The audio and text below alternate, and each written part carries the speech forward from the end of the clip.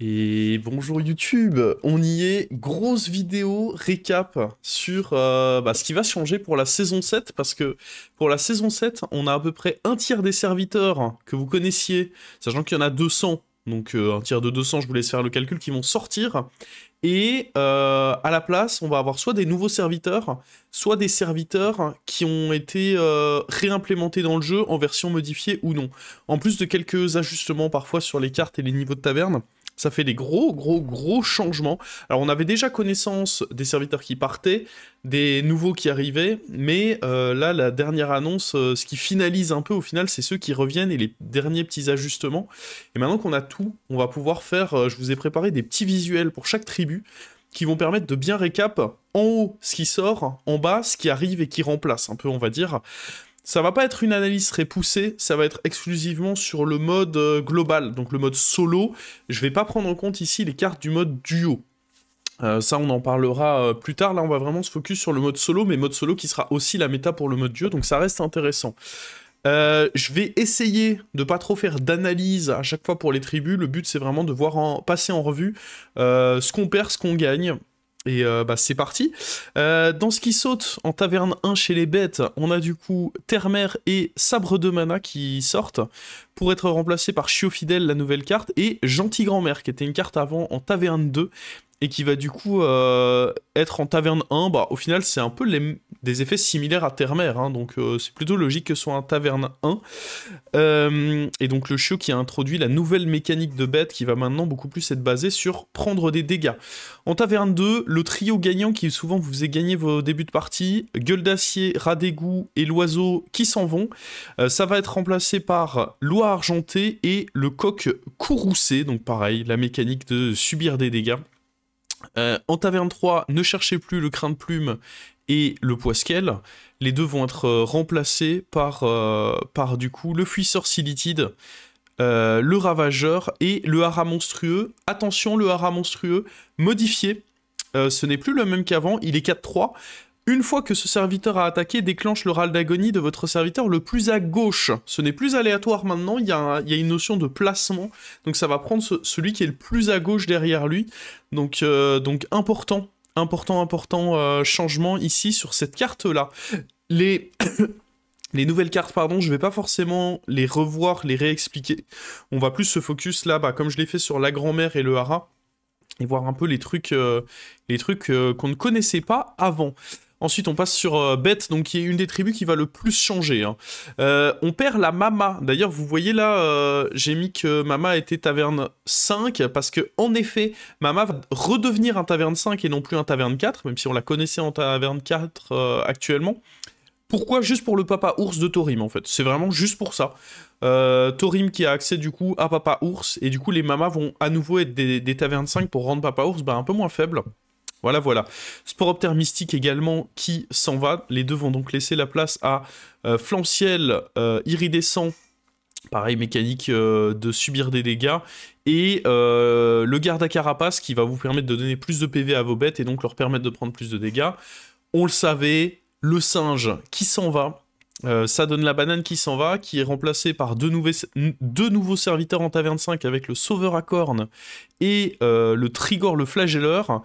Et on a le retour d'Octosari. Octosari qui revient en tant que taverne 5. Avant, ça aurait été trop fort, je pense, Octosari en taverne 5, parce que la synergie avec Banane était un peu abusée. Le fait d'enlever la banane du jeu, ça leur permet de mettre Octosari, qui va être, je pense, un assez bon carry pour Beth. Je présume que Beth, avec ces changements-là, on peut aussi noter que le Goldrin reprend sa forme euh, plus 3 plus 3. Avec ces changements-là, euh, on va avoir une tribu bête qui va être beaucoup plus agressive mid-game et peut-être un peu moins tenir sur le long terme. Et je pense que c'est l'objectif de toute façon de ce genre de tribu. Donc le héros qui saute, on gagne Torobot, le duo type Mecha bête, et le Goldrin. Bon, c'est tout pour bête. C'était une des plus grosses tribus. Euh, deuxième plus grosse tribu, non pas encore tout de suite. D'abord on passe par les euh, démons on a l'emprisonneur. Euh, là, j'ai tout mis en un seul visuel parce qu'il y a moins de changements. L'emprisonneur qui est changé pour euh, sécurité en coulisses. Euh, donc un serviteur qui avait été avant dans le jeu mais qui était en taverne 2. Désormais, il est taverne 1. Une 4-4 taverne 1 qui vous met un point de dégâts en chaque début de tour. Euh, l'idée est d'être dans cette mécanique de prendre des dégâts.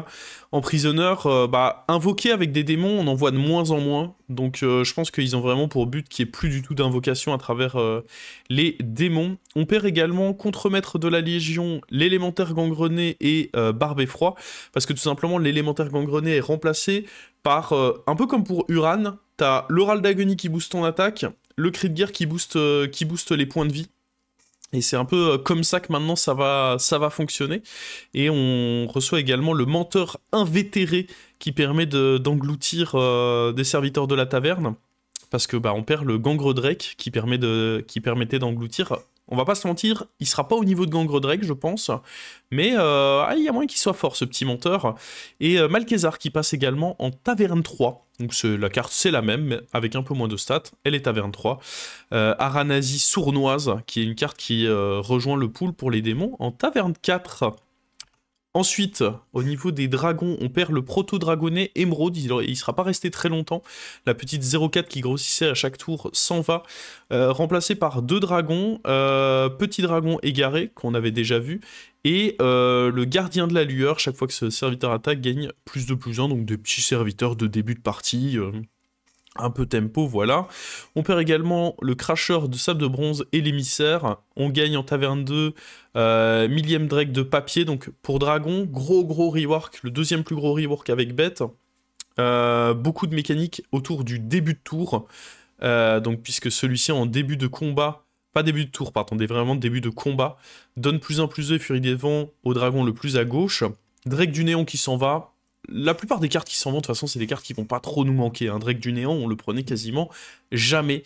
Euh, et du coup, on reçoit euh, le euh, Chrono Capitaine, un petit duo dragon-pirate, le héros de ralliement, et Tarek Goza qui revient dans le jeu. Ça semblait logique étant donné que la mécanique de début de combat revient. Tarek Goza qui revient également, qui signe son retour. Et du coup, synergie avec beaucoup de changements dans les hauts niveaux de taverne. Euh, dans le mid-game, parce que Calegos reste malgré tout, donc Gangre Drake, on l'a vu avec les démons, il s'en va. Euh, Consumeur des confins, étrange trip, c'est des cartes qu'on prenait jamais. Hein. En taverne 4, par contre, il va y avoir du monde maintenant. Le poète invétéré, euh, bouclier divin, qui fait que les dragons adjacents conservent de manière permanente leurs enchantements de combat. Lui, ça va être un gros gros changement. Retour du super promo Drake, qui du coup, lui, ne donne plus aux adjacents, justement, parce que sinon, il y aurait une synergie un peu bizarre avec le poète. Euh, Plaie de nuit embrasée, le dragon mort-vivant qui va, rejoindre la taverne. Mortekai draconique, le dragon naga qui rejoint la taverne, qui permet de déclencher un cri de guerre très fort. Et Synthé électrique qui était en taverne 3 qui passe du coup en taverne 4 dans une version légèrement buffée. On perd chasseur-cueilleur et Drake de Grey. On gagne Yulon, qui va vous permettre de rendre toutes vos compos dorées, potentiellement de manière permanente grâce à Tarek Goza et grâce au poète invétéré. On perd le spécialiste, qui sera pas resté très longtemps lui non plus, euh, et on perd Fazel. Plus moyen de Fazeler de nos adversaires, ça, ça va me rendre triste.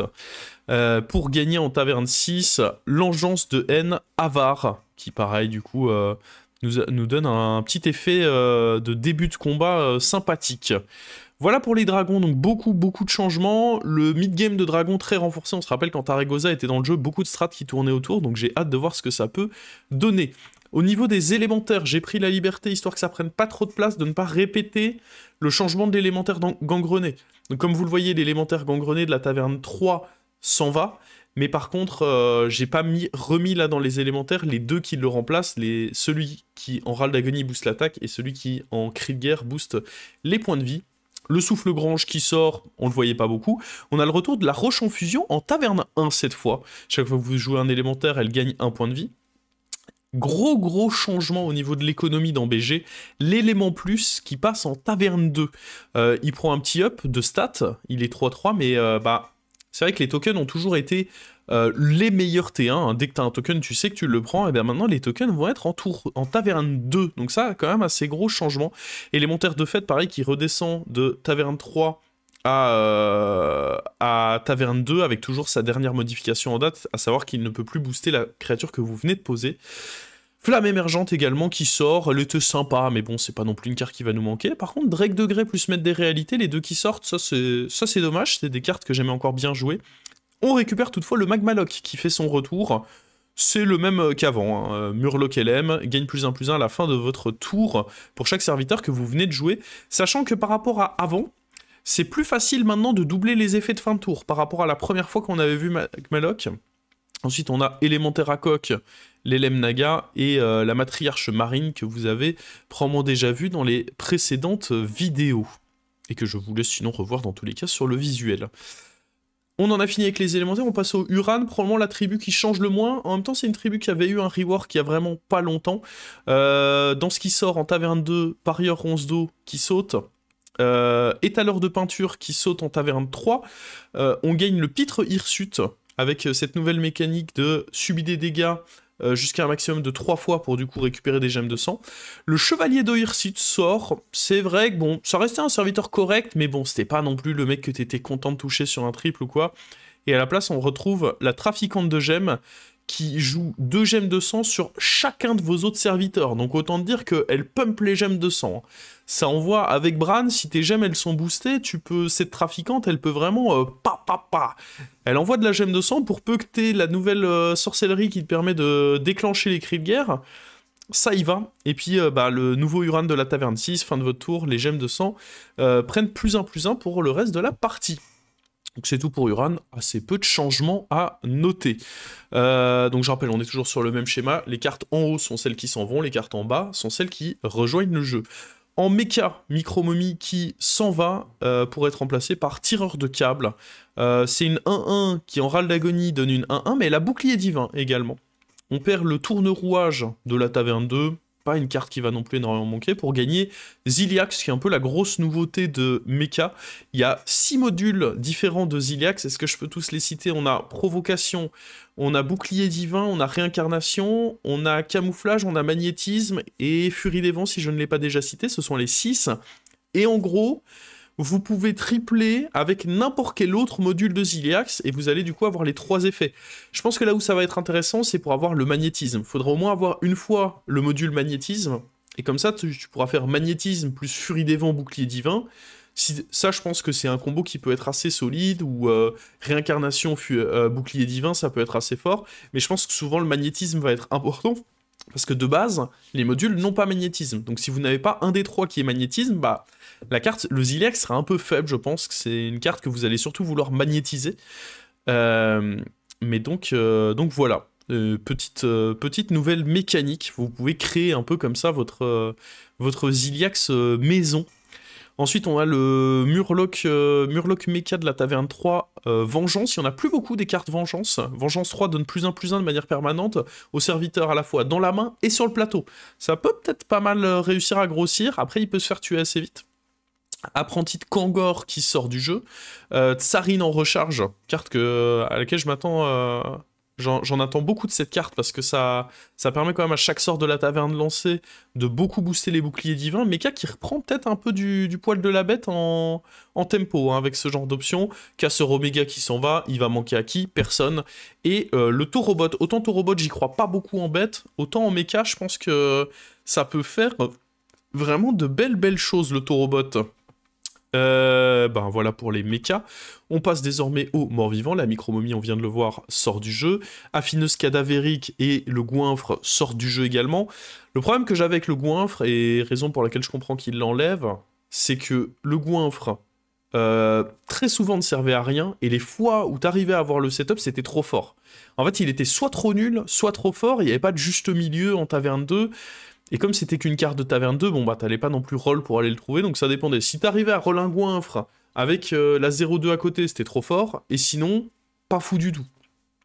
Euh, mauvais perdant qui s'en va également. En taverne 3, en remplaçant, on va avoir euh, la mégère bougeonne et le pire de tombe, qui était avant taverne 4, qui passe du coup en taverne 3, pire de tombe. Et attention, changement dans le texte, il ne donne plus 3 d'or, il détruit un mort-vivant allié pour vous en donner une copie non dorée dans la main. Donc en fait, ça fonctionne un peu à la manière de Kel'Thuzad maintenant, où ça peut vous faciliter des triples. Si vous faites ça sur une créature réincarnation, vous allez détruire le mort-vivant, récupérer une copie dans la main, pour peu que vous en ayez une troisième, bam, ça triple. Je pense que la carte est beaucoup plus intéressante sous cette forme-là. Euh, momification, du coup, qui à l'inverse rejoint la taverne 4, le même qu'avant, hein, qu'on fait réincarnation à un autre mort-vivant allié Plaie de nuit, on l'a vu déjà pendant les qu'on regardait les dragons. Et on a Esprit inébranlable qui nous quitte, du coup, chez les morts vivants. Et l'hôte indésirable en taverne 6 qui, qui rejoint pour apporter un peu euh, une nouveauté en late game euh, pour les morts vivants. Mais ça va surtout être euh, l'early game. Bah, en fait, ça perd beaucoup de cartes. Cela dit, il y avait beaucoup de cartes en morts vivants en début de partie. Hein. C'était parmi les tribus qui avaient le plus de cartes en début de partie. Et là, bah, pas mal qui s'en vont. On passe à Murloc, le Murcule, qui s'en va. Murcule, c'était un peu comme le goinfre. C'était soit la carte, elle faisait rien, soit la carte, elle faisait des trucs un peu trop stupides. Je pense que le, le problème, c'est qu'il n'y avait pas de juste milieu avec la carte. Et euh, Yvelron affamé qui rejoint, provocation. Chaque fois que ce serviteur subit des dégâts, donne plus un plus un à un serviteur de votre main. Donc on est vraiment beaucoup plus dans cette mécanique de subir des dégâts. Euh, navigateur, Gangrelron et Poisquel qui s'en vont. Autant, bon, le navigateur, il est revenu, on sait pas trop pourquoi. Parce que Poisquel, c'était une carte qui était pas trop mauvaise. J'aimais encore bien. On a à la place l'amasseur insouciant. Euh, le Murgle qu'on a vu chez les mechas, et le Plongeleron qui fait son retour, euh, tel qu'on le connaissait avant, hein, plus 5, plus 5, Râle d'agonie en taverne 3. On perd également Sinistre Écaille Rebelle, une vénimosité en moins, et le Magmaloc qu'on a déjà vu chez les élémentaires qui va faire son retour à la taverne 5. Les Nagas, et on aura bientôt fini avec les tribus. Euh, Terre-Mère, comme on l'a vu, euh, s'en va. Alors là, j'ai dû essayer de gérer le visuel parce qu'il y a beaucoup de trucs qui rejoignent en Naga. On a le retour du mini Myrmidon, sous la même forme qu'avant. Hein, petit taverne 1 qui donne 2 d'attaque en 1-3. Euh, enfin une sorcellerie qui donne 2 d'attaque et 1-3 ce sont ses stats. Et euh, Pêcheuse des Abysses qui passe du coup en taverne 1. Elle passe de la taverne 2 à la taverne 1 euh, et ne donne plus que 2 points de vie avec la provocation. En taverne 2, du coup, qui fait l'échange avec, dans la même euh, idée que l'élément plus, collectionneur de coquillages, 4-3, donc il prend quand même un boost en stat, mais qui passe en taverne 2. Donc pareil, on est vraiment dans l'optique de maintenant les tokens, c'est des tavernes 2 parce que c'était trop fort en taverne 1. J'ai hâte de voir ce que ça va donner. Ça va beaucoup changer la dynamique, mine de rien, parce que tour 1, bah, tu vas devoir prendre une créature tempo maintenant. Il y aura plus de, euh, y aura plus de je prends mon token. On a Pachemar, euh, la vengeresse, à Pachemar, une carte qui aura pu faire euh, de très belles choses et parfois rien du tout. Euh, mais Pachemar qui s'en va du coup du jeu, remplacé par Sonneur de Coquille, secret de guerre qui vous permet d'avoir des sorts de la taverne de niveau 2. Nageuse silencieuse qui s'en va de la taverne 4, ça permettait camouflage. En fait, le problème de cette carte, selon moi, c'est qu'elle n'était pas utile en naga, mais par contre, qu'est-ce qu'elle en a caché des titus et des singes euh, qu'on n'avait pas envie de voir cachés. C'était assez démoniaque. La mécanique de camouflage, euh, faut faire attention avec ça. Et à la place, on récupère du coup euh, Sirène au cœur tendre en taverne 4 et Mortecaille draconique qu'on a déjà vu chez les dragons. On perd également Dompteuse de créatures dans la taverne 5. Euh, c'est vrai que c'était très difficile de l'utiliser euh, correctement. Euh, et on récupère bah, Vandal qui était avant en taverne 4, qui du coup passe en taverne 5. C'est vrai que c'était un peu la seule toxique qu'il y avait en taverne 4 quasiment. Ils veulent vraiment enlever la possibilité d'avoir des, des en taverne 4 et euh, un peu obligé d'aller chercher du 5 si tu les veux. Euh, l'élémentaire à coque qu'on a vu chez les élémentaires qui vous permet de donner les caractéristiques d'un serviteur de la taverne. Et après, il y a Greta qui a fait un court passage, un court retour dans le jeu. Greta permettait un peu trop de dinguerie, je peux comprendre qu'il ne la conserve pas. Euh, pour finir avec les tribus, on a les pirates. L'artiste des mers du Sud, bah on a vu, hein, c'était un peu la chasse, euh, la au token, donc Artiste des mers du Sud qui va partir également. Mais il y a le Mousse du Pont qui fait son retour, qui est un peu moins considéré comme un token. Certes, ça vous donne l'écho, mais c'était beaucoup plus dur à calculer, puisque c'est vraiment que sur le niveau de taverne. Affinos cadavérique, on l'a vu chez les morts vivants, ça saute.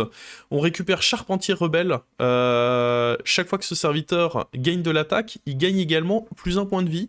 En vrai, avec Peggy, ça peut être un serviteur qui monte du coup très très haut en, en points de vie. Euh, à voir, à voir comment, euh, comment on peut utiliser ce serviteur. Pareil en synergie avec euh, le Pirate Taverne 3 qui fait monter l'attaque. Ça peut pas mal monter ce, serviteur, mine de rien. Barbé Froid qui s'en va, Canonnier qui s'en va. On gagne du coup le Dragon Pirate de la Taverne 3. Le problème de ce Dragon Pirate, j'en ai pas parlé tout à l'heure, mais c'est que bah il donne plus d'attaque aux autres serviteurs, mais il se booste pas lui-même. Donc j'ai peur que lui, il soit un peu, euh, un peu faiblard en attaque. Ça a souvent été ça, hein. les cartes qui boostent les autres, mais qui se boostent pas eux-mêmes, ça a rarement été des dingueries. On perd Encre Audacieuse, qui était un sacré outil, pour euh, snipe justement les cartes un peu à droite, qui s'en va, et on garde, on gagne Long John le Cuivré, qui vous permet d'obtenir des pièces d'or quand il subit des dégâts. Greta, on vient de le voir, qui saute. voilà, voilà, ça vous permet d'avoir des petits visuels pour chaque tribu, et de mieux se rendre compte au niveau des synergies, ok, ceci s'en va, mais du coup, il y a ça qui vient, et d'avoir une meilleure vision d'ensemble, je trouve, sur euh, bah, à quoi va ressembler la méta après euh, mardi 16 euh, avril, du coup, lors du déploiement du patch. On a les serviteurs neutres, dont on, va, quand même parler quand même. Donc le combattant aux abois, c'est ciao. Irel, c'est ciao. On gagne danseuse de feu, à, savoir que si je dis pas de bêtises, dynamiteur reste dans le jeu, donc on aura juste une possibilité en plus euh, de mettre des points de dégâts au serviteur, ok. Euh, constellation vivante qui du coup... Euh, constellation vivante qui sort également du jeu. Théière qui sort du jeu. on récupère la chimère ailée qui... Alors j'ai mis...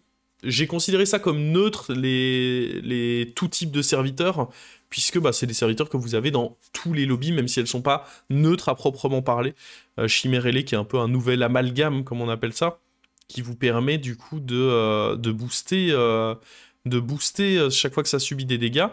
Pillard qui saute mais qui est immédiatement remplacé par la même carte, sauf qu'elle donne plus 2, plus 3 au serviteur avec provocation, et elle donne elle-même provocation au préalable. la seule différence c'est qu'avec Bran du coup, bah, vous n'aurez pas une provocation supplémentaire, mais bah, littéralement juste une meilleure carte. On perd Rondelle, qui sera pas resté très longtemps, pauvre Rondelle. Euh, on perd Danseuse de Saloon également, on va pas se mentir. J'ai réussi à faire une belle game avec Danseuse de Saloon, mais ça n'arrivait pas souvent. Euh, et du coup, Explorateur des Récifs qui fait son retour dans le jeu en tant que Taverne 4. Taverne 5, Matador qui saute, il fallait s'y attendre, parce qu'il y a aussi Reine Mantide qui saute, mine de rien il y a le retour de notre ami Leroy. Attention, les boucliers divins. Les boucliers divins qui étaient beaucoup plus en chill. Hein. Les clives et boucliers divins, ils avaient la belle vie. Hein, euh, parce qu'en soi, Matador et Mantide, il y avait beaucoup plus moyen de jouer autour. Là, Leroy, hmm, ça va à nouveau poser des problèmes pour, euh, les clives et boucliers divins. Ce que j'aime bien aussi, c'est qu'on gagne dans les serviteurs neutres des possibilités de scaling en taverne 5. Le tréant rancunier, provocation, chaque fois que ce serviteur subit des dégâts, donne plus d'attaque à vos serviteurs de manière permanente. Évidemment, ça va pas être une win condition de fou, mais ça permet de stabiliser avec un truc euh, quand vous ne touchez pas euh, très bien. Et c'est important d'embêger aussi les, compos de stabilisation en mode j'essaye de sauver un top 4. Euh, et euh, championne de la gobelune, donc une fois que vous avez joué une carte de niveau impair, donc une carte que ce soit un sort de la taverne, que ce soit un serviteur, carte de niveau impair, c'est plus 1 plus 1 à tous les autres. Seul truc que je lui reproche, c'est qu'elle se booste pas elle-même, tous les autres serviteurs de niveau impair. Il y aura peut-être moyen de mettre en place des petites compos avec ça. Taverne 6, donc comme je l'ai dit, on perd Phalange, on perd Reine on perd également Fort Mobile, qui va pas non plus énormément nous manquer, soyons honnêtes. Et on a un peu, euh, dans le même délire que euh, la championne de la Gobelune, champion de grise tête, euh, bah, c'est l'opposé du coup. vous devez jouer des cartes paires pour booster les cartes paires. Alors cette fois c'est de plus 2 plus 2, mais en même temps c'est un taverne 6. Donc, et puis c'est plus dur de jouer à l'appel des, cartes paires, parce que vous pouvez pas jouer les tavernes 1 à l'appel par exemple. Donc, donc un peu plus dur aussi de faire les boosts avec. Voilà, voilà. Euh, on a également au niveau des sorts, donc on avait déjà vu les nouveaux sorts Engrais Ultime et Regard de la Terre-Mère qui arrivent dans le jeu. Modification sur Vigueur Fugace, qui était le sort qui donnait euh, temporairement plus 7 plus 7 à un serviteur. Maintenant c'est début du combat, donne plus 2 plus 1 à vos serviteurs. La carte a été revisitée, je pense que la problématique qu'ils avaient c'est que notamment quand tu mettais ça dans le shop et puis que tu mangeais le shop, bah, c'était un peu trop bénéfique, donc euh, ils, ont, ils ont modifié ça. Ils ont également modifié Faveur des hannetons parce que bah, y avait une synergie un peu bizarre avec la précédente version de Faveur des hannetons parce que souvent c'était une carte qui pouvait être bien en début de partie quand tu jouais bête, mais en fin de partie, le problème c'est que par exemple si tu avais un Goldrin avec réincarnation, vu que Ral d'Agonie proc avant réincarnation, tu perdais ta réincarnation. Là maintenant, le texte c'est quand vous avez de la place pendant le combat, invoquez un hanneton 3-3, et ça peut en faire 3 au total pendant le combat. Donc euh, un rework euh, qui peut peut-être être intéressant pour, euh, pour les bêtes ici. Et enfin, on va terminer avec euh, le dernier visuel que j'ai à vous montrer qui concerne lui les héros. Quelques petits reworks, je sais pas si je les ai tous et j'avais pas tous les visuels exactement. Euh, pour Akazam Zarak, Prestidigitation, vous choisissez un secret et le placez sur le champ de bataille. Ça coûte 0 maintenant.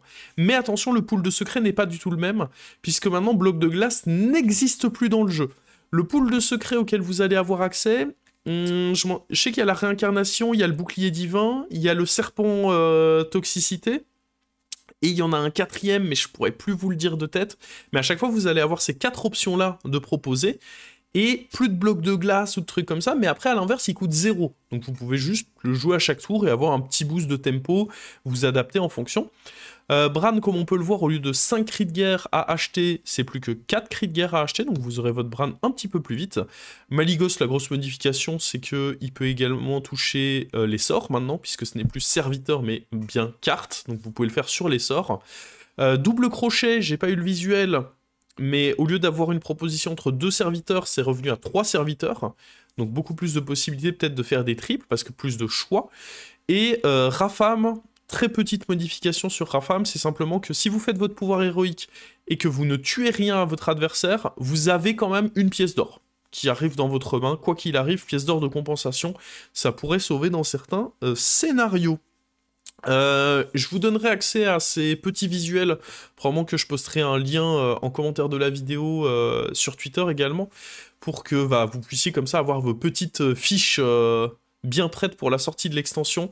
L'idée c'était pas, vous voyez la vidéo elle a déjà presque duré 30 minutes, c'était pas de faire une analyse de chaque tribu, ce serait beaucoup trop long, mais vraiment voilà, présentation de bah, à quoi va ressembler la méta, qu'est-ce qui sort, qu'est-ce qui rentre, tribu par tribu. Euh, j'espère que cette vidéo euh, vous aura plu. J'ai pris un petit peu de temps pour bah, trier et préparer tous ces petits visuels. Euh, ça permet aussi de voir un peu bah, les cartes qui reviennent, qui sont un peu les cartes annoncées aujourd'hui.